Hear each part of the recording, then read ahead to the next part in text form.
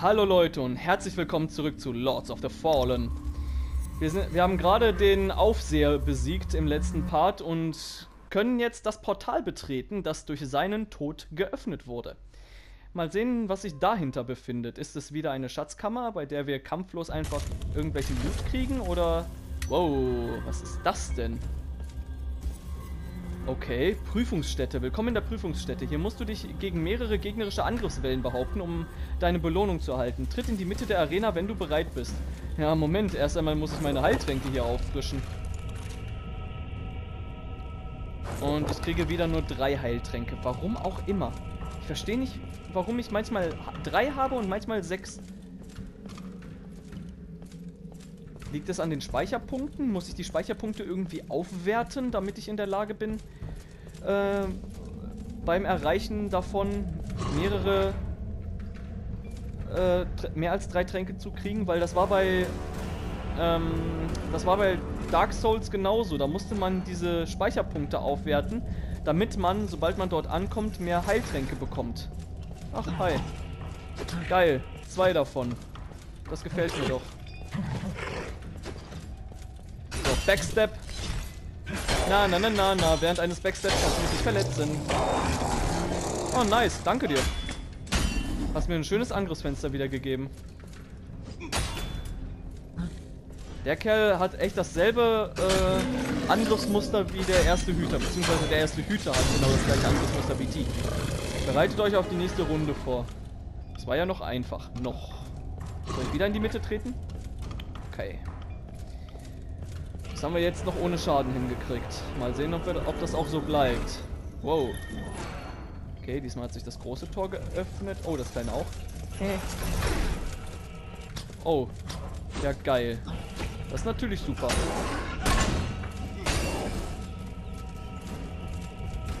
Eigentlich sollte ich mich jetzt eher auf den ähm, Armbrustschützen konzentrieren. Mache ich jetzt am besten mal auch. Und danach kommt der Blinde. Alter, du hast ja Auto-Aim an, oder was? Der Kerl hat mich getroffen, obwohl seine Armbrust in die andere Richtung gezeigt hat. Cheater. So. Ich bin schon in die Mitte getreten. Bis jetzt ging es ja noch.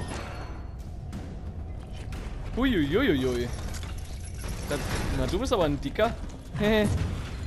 Holy shit. Oh Gott, das ist einer von denen. Alter, Harkin, du hättest den jetzt töten können. So. Bevor der mir gleich noch, bevor der mich gleich noch von dem Dicken ablenkt. Ich höre, hier scheint sich noch irgendwo ein weiterer äh, von der Sorte zu befinden. Ah, geil, mit dem Zauber erwische ich ihn. Ziemlich gut sogar. Ja, ja, komm mal her. Und greife. Wow. Du immer mit deinem Auf, Aufschlag. Na, na, na? Schade. Hat nicht so ganz äh, geklappt, ihn zu umrunden.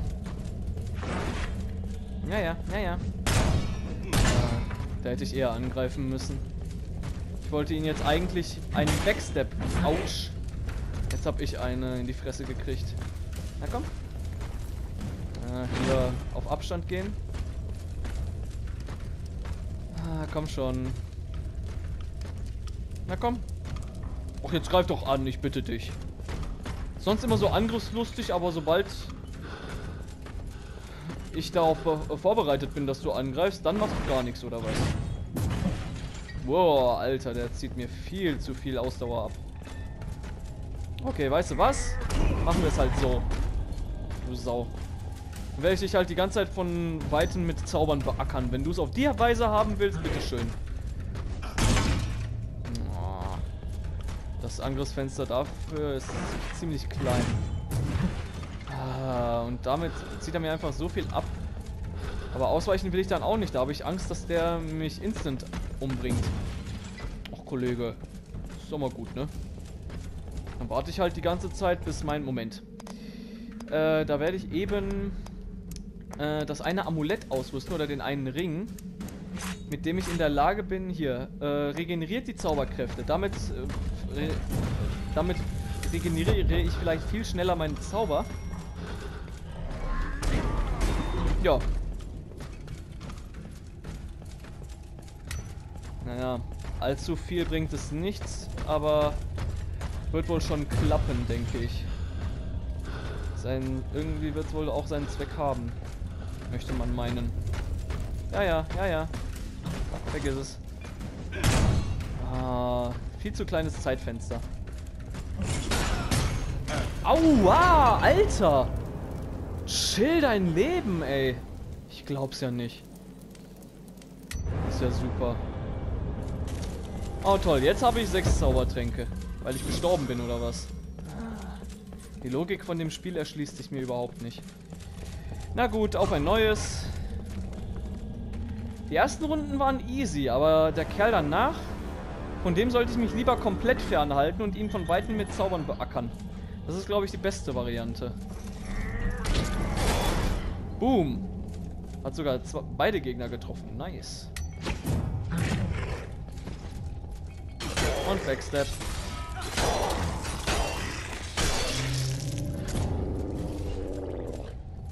Und zweiter Backstep.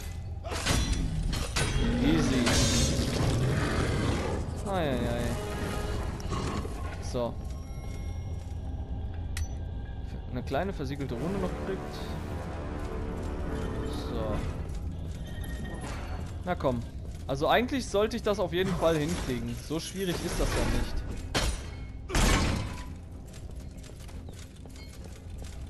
Na komm.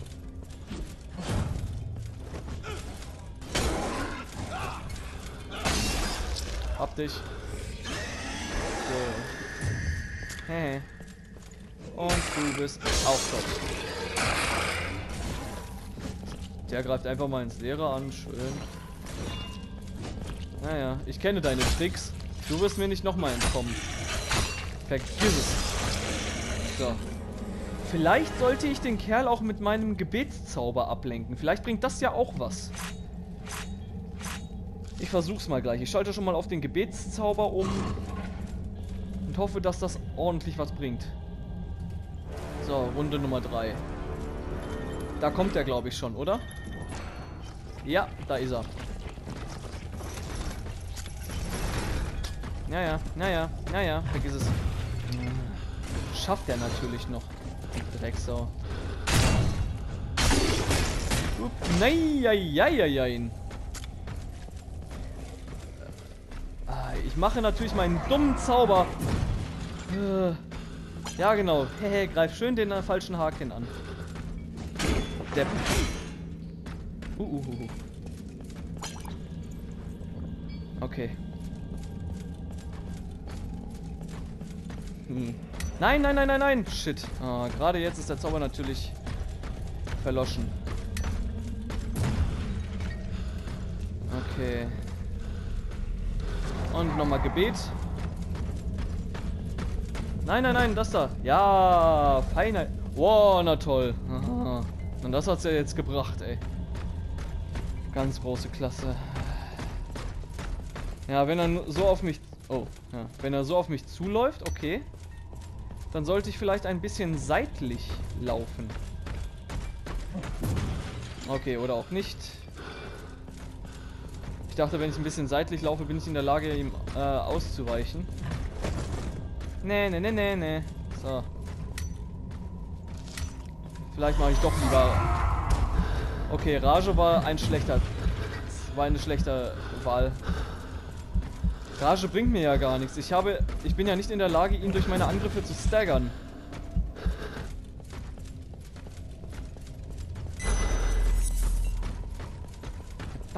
Scheiße, ey. Ich hatte echt... Ich hatte gehofft, ich könnte ihn mit meinem Klon so gut ablenken, dass ich dann in der Lage bin, ihn zu backstabben. Weil ich es ja sonst nicht hinkriege. So, immer schön Abstand halten, damit er nur diesen Aufschlag mit einem macht. Weil der lässt sich wenigstens blocken. Okay, wenn er auf mich zuläuft, dann bleibe ich am besten stehen. Hehe, Depp. Dann bleibe ich am besten stehen. Weil der äh, weitere Attacken macht er danach ja eh nicht. Von daher kann ich ruhig stehen bleiben und beruhigt blocken. Mit dem Wissen, dass ich den Angriff auf jeden Fall überstehen werde. Ich Ich darf danach nur nicht zu lange in seiner Nähe bleiben, sonst macht er eben seine Todeskombo. Wenn ich auf diese Weise in der Lage bin, gegen diese Kerle zu gewinnen, dann sollte ich vielleicht noch einmal zurückkehren. Und den einen Kerl besiegen, der mir das letzte Mal auch den Weg versperrt hat. Auf diese Weise bin ich dann ja auch in der Lage, ihn zu besiegen. Theoretisch. Soll ich nochmal mit Gebet versuchen und äh, versuchen, einen Backstep aus ihm rauszukitzeln? Ich versuch's mal gleich nochmal. So, Gebet. So, dann mach mal. Dankeschön. Oh, what? Nein! Oh, Dreck. Ich dachte... Und keinen Backstep natürlich hingekriegt. Ah. Dann vielleicht doch nochmal mit Rage versuchen. Nee, nicht Rage, Rammen. Nein, nein, nein, nein, nein, nein, nein, nein, nein, nein, nein, nein, nein, nein. Dein Todeskombo kannst du schön vergessen, Freundchen. So. Damit bin ich in der Lage, ihn deutlich besser zu erwischen. Ich meine, klar, der Kampf dauert dadurch zwar endlos lange, aber immerhin bin ich dadurch auf der sicheren Seite. Und das ist eben die Hauptsache. Es ist ja scheißegal, wie ich den Gegner besiege. Hauptsache, ich besiege ihn am Ende. Wenn der am Ende fällt anstatt mir, dann, ne? Zählt das einfach. Dann bin ich in der Lage, dann, dann war ich einfach in der Lage, die Möglichkeiten, die mir das Spiel gegeben hat, so auszunutzen, dass ich den Gegner besiegen konnte. Ich nutze hier keinen Glitch oder so etwas. Ich nutze einfach nur die Möglichkeiten, die mir das Spiel gibt. Naja. Mach nochmal. Zack. Feiner, kleiner Dämon, du. Jetzt hat er nur noch ganz wenig, aber bloß nicht beirren lassen, bloß nicht beirren lassen. Einen Zauber, einen weiteren Zauber brauche ich nur noch ausführen. Den hält er garantiert nicht mehr durch. Und das war dann hoffentlich das letzte. Ey, ich hoffe, dann kommt nicht eine vierte Runde, wo zwei von diesen Kerlen auf mich zugerast kommen, weil dann habe ich echt verloren. Glaube ich. Weil wenn dann beide gleichzeitig auf mich zugerast kommen und die machen beide diesen Aufwärtsschlag, dann äh, wird der eine meinen Schild wegschlagen und so, dann kommt der andere bei mir an und tötet mich komplett. Habe ich keine Lust drauf. Und du bist tot. Yes! Ihr habt euch als würdig erwiesen. Tretet in die Mitte der Arena und holt eure Belohnung. Nice. Geil. Her mit dem Shit. Was kriege ich? Knochenarbeit, Rüstung, äh, Attributssplitter und Zauberpunktsplitter. Nice. Bedeutet das, ich habe jetzt quasi gratis einen Zauberpunkt bekommen und einen... Moment. Erstmal den Ring angucken, den ich gekriegt habe. Knochenarbeit. Ausrüstung... Nee. Vor langer Zeit wurde dieses Schmuckstück von reisenden Händlern benutzt. Die rüsteten ihre Tiere damit aus, damit diese mehr tragen konnten. Ah, heutzutage gibt es jedoch mehr, äh, nicht mehr viele reisende Händler und jeder Krieger muss sein eigener Packesel sein. Ah, ja. Seht ihr da unten das Gewicht? Das erhöht sich von 22 auf 28. Ja, das ist natürlich super. Ich glaube aber nicht, dass wir dadurch schnell, äh, schneller äh, rollen können. Naja, ich behalte es erst einmal. Wer weiß, vielleicht finde ich gleich irgendeinen geilen Gegenstand, mit dem ich in der Lage bin, etwas mehr Schaden zu machen oder so. Ah, mam, mam, mam, Habe ich hier eigentlich ein neues Schwert gefunden? Ich hatte doch ein neues Schwert. Ähm... Wo ist es denn? Da unten, Stahlschwert, 21 Schaden. Ne, macht nicht mehr Schaden als ähm, mein anderes Normalschwert. Schade eigentlich. Aber wir kommen bis jetzt ja einigermaßen gut zurecht. Von daher wird schon passen. Haben wir eigentlich irg jetzt irgendeinen anderen Schild vielleicht, der 100% hat und etwas leichter ist? Nein, nein. Oh, hier, schwerer Drache, ein Drachenschild. Ja, sehr gut. Der hat zwar ein, der hat den gleichen Rüstungswert wie der Löwenkopfschild, hat 100% Blockwiderstand und ist deutlich leichter. Ja, nice, ey. Guckt euch das an. So ein schöner, klitzekleiner Schild. Das ist doch toll. Wiegt auch deutlich weniger. Perfekt. Das wollte ich haben. Den hatten wir wahrscheinlich schon etwas länger im Inventar. Habe ich nur nicht gemerkt. Na gut. Soll mir recht sein. So, dann werden wir mal gleich zu unserem Kollegen zu zurücklaufen, der ja seit dem ersten Bosskampf verschollen war. Ich habe seinen Namen leider vergessen. Kaslo oder irgendwie so etwas. Das stand ja die ganze Zeit da oben links, der Name. Wie hieß der nochmal? Doch, Kaslo. Ha, guck mal, habe ich mich sogar spontan dran erinnern können. Uhuhu, jetzt kommt der andere auch noch hier hoch. Dann gebe ich euch doch mal... Nein, ich wollte jetzt eigentlich meinen Zauber auf sie draufballern. Ihr Drecksäcke. Na, macht mal. Ja, greift doch an. Idioten. So. Krypta von Steinwehr, da wartet der gute Mann ja auf uns. Wir waren sogar in der Lage... Also ich habe das Gefühl, dass dieser Anbeter ein optionaler Boss war. Kann das sein? Weil theoretisch wären wir doch auch in der Lage gewesen, hier rumzugehen. Und auf diese Weise unseren Freund zu erreichen, oder? Würde ich mal glatt behaupten. So, Momentchen. Ähm, erstmal zur Charakterentwicklung, wenn wir uns eh schon... Oh, Attributpunkte. Habe ich welche übrig gelassen oder liegt das an diesen Attributspunkt-Splittern, die ich eingesammelt habe? Kann natürlich auch sein. Moment. Ähm, haben wir diese Splitter noch hier? Energie, Magie, Geisterruf. Attributspunkt-Splitter. Verleiht dir einen zusätzlichen Attributspunkt. Ja, äh, ich würde mal glatt sagen, den benutzen wir direkt, oder? Ja, verbrauchen wir mal. Zack, zack. Haben wir zwei weitere Punkte. Ähm, Zauberpunkt-Splitter. Verleiht dir einen zusätzlichen Zauberpunkt. Benutzen wir auch mal. Kann ja nicht schaden, würde ich glatt behaupten. Nice, haben wir vier Attributspunkte, Leute. Dann werde ich auf jeden Fall mal meine Stärke upgraden. Äh, dann gebe ich noch einen weiteren Punkt auf Glück, würde ich sagen. Und auf Glaube oder Ausdauer? Na, wobei, Glück brauche ich ja momentan noch nicht allzu sehr. Ich würde eher auf Glaube gehen, damit ich meine, An äh, damit ich meine Zauber ein bisschen upgraden kann. Ja, macht meine Schaden, macht Schaden plus und mal meine Magieleiste erhöht sich dadurch auch noch ein bisschen. Oder soll ich lieber Ausdauer auch ein bisschen draufgehen?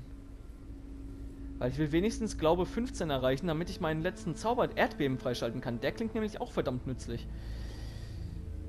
Hm. Ja, wobei, ich kann ja erstmal bestätigen. Dann noch einmal ein paar Punkte, also einen Punkt zumindest, so reinpacken. Zack. Dadurch erhöht sich mein äh, Ausrüstungsgewicht und meine Energie erhöht sich dadurch auch. Ja, mache ich doch auch mal so. Warum nicht? Gut. Und unser Gewicht beträgt momentan 11,75 von 31. Oh, sind wir jetzt etwa in der Lage weiter zu rollen? Kann das sein? Dass äh, unser Gewicht nicht bestimmt, wie schnell wir rollen, aber wie weit? Ich habe das Gefühl, Haken rollt jetzt ein kleines bisschen weiter. Hm. Naja, erstmal mit dem Kollegen hier reden. Hi. Gut, dass du es so weit geschafft hast. Die Sense sah mir doch recht gefährlich aus, aber dich konnte sie nicht abschrecken. Ach, also musste ich den Bosskampf doch machen, um den Kerl äh, hier zu begegnen, oder, oder was? Ja, die sind nicht leicht zu schlagen. Warum hast du mich aus dem Gefängnis geholt? Hab schon Schlimmeres mitgemacht. Ja, ähm, am ehesten würde mich eigentlich diese Frage hier interessieren. Klingt zwar ein bisschen fies, aber klingt nach einem interessanten Detail, das ich in Erfahrung, gerne in Erfahrung bringen möchte. Warum hast du gerade mich aus dem Kerker geholt? Versteh mich nicht falsch. Ich habe dich und die anderen befreit, weil wir Kämpfer brauchen. Nicht, weil ich deine Taten gutheiße. Doch bisher muss ich zugeben, dass du dich recht gut schlägst. Ja, würde ich auch sagen, oder? die ersten beiden Bosse, die waren, äh, da habe ich mich ein bisschen schwer mitgetan, aber der dritte, der ging eigentlich. Der war jetzt hier der Aufseher, der war eigentlich relativ easy. Ich meine, klar, ich habe wieder ein paar Mal mich blöd angestellt, mich nicht geheilt, wenn ich mich hätte heilen sollen und so, aber ansonsten vom Attacken-Set, das er hatte, war er relativ einfach zu durchschauen auf jeden Fall. Ähm, hab schon Schlimmeres mitgemacht.